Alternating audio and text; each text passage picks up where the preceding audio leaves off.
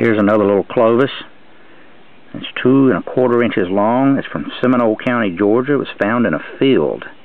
It's unfluted in that it does not have large central flutes, but it has very fine paleo flaking. It has the outrepassé flaking running all the way across it. These are crossover flakes that are all done through percussion flaking. Has heavy grinding along the lateral edges and along the base.